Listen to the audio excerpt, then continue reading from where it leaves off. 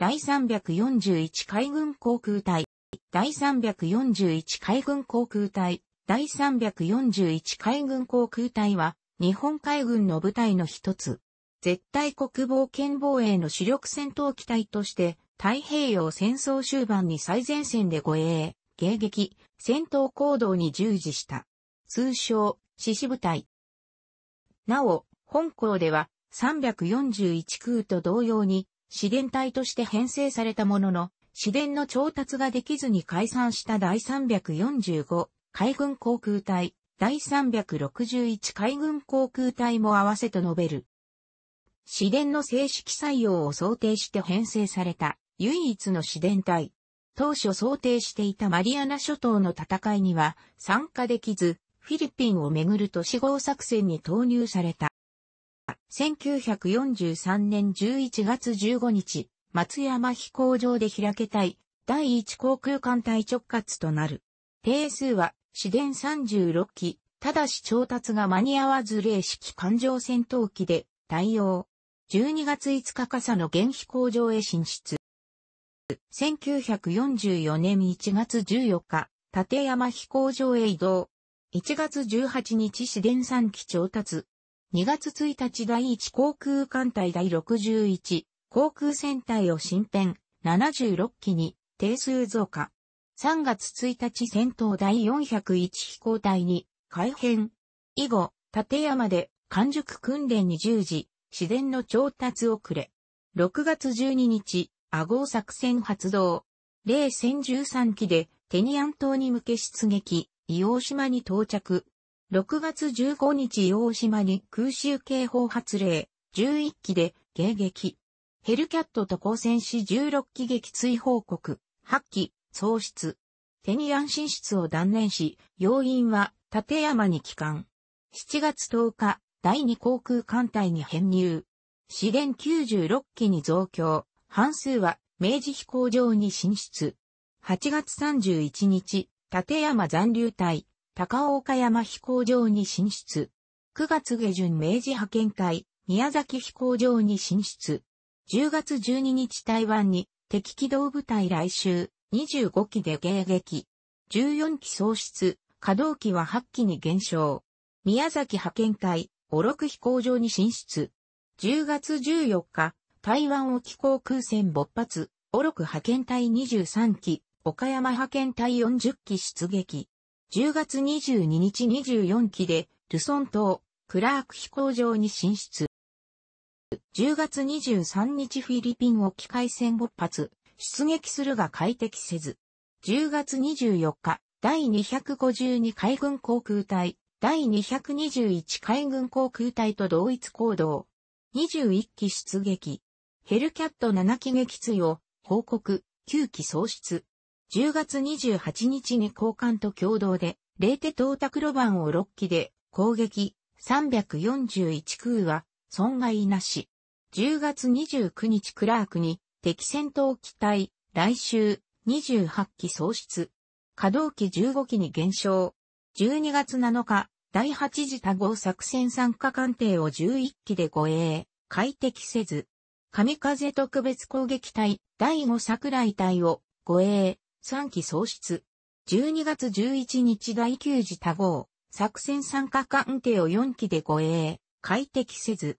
12月14日神風特別攻撃隊、第5混合隊を、護衛、341空は、損害なし。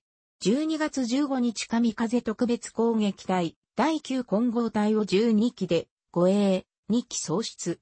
12月16日神風特別攻撃隊、第11混合隊を護衛、341空は、被害なし。12月14日、敵機動部隊、ルソン島全土を爆撃、稼働機4機に減少。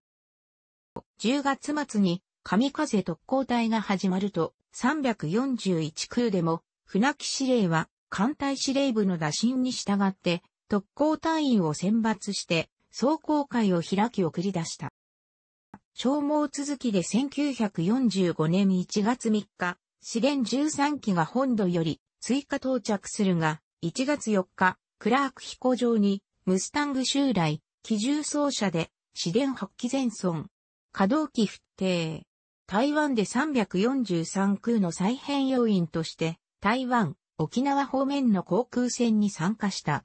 また、台湾に残った地上要員は、そのまま台湾を拠点とする各航空隊の地上要員に編入された。フィリピンに残った地上要員は、ルソン島の戦いに巻き込まれ、終戦まで絶望的な地上戦を強いられた。船木司令もフィリピンで戦病死した。一方、搭乗員は他の航空隊搭乗員と1月フィリピンを脱出、2月10日飛行隊が第343海軍航空隊に編入された。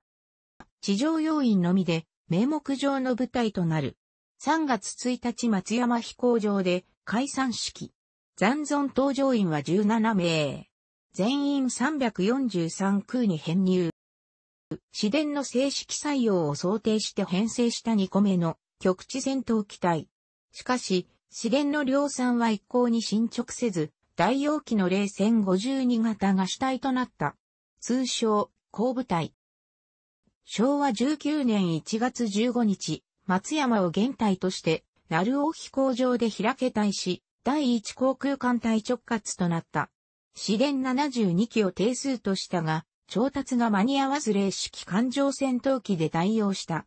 昭和19年5月頃に、ようやく試練を調達し、明治飛行場で訓練に従事した。一方、零戦連成隊は、鳴尾に残留して、実用機訓練を続行した。